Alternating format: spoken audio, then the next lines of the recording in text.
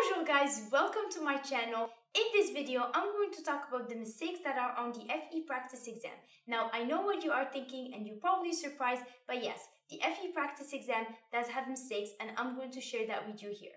For more videos covering the FE exam questions or engineering problems, don't forget to subscribe and make sure you hit the bell so you get notified when I release new videos every Tuesday and Friday. Also, make sure you watch until the end because I'm going to share with you some practice problems that you can use to study for your tests.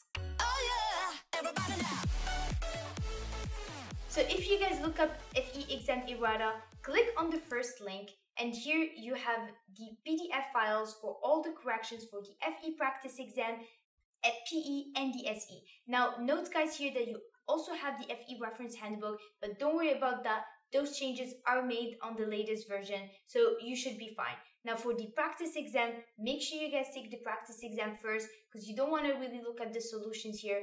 But I'm going to take a look at FE Civil Practice exam just to show you guys how it is. So here you are giving the problem number and whatever is red, that is the correction.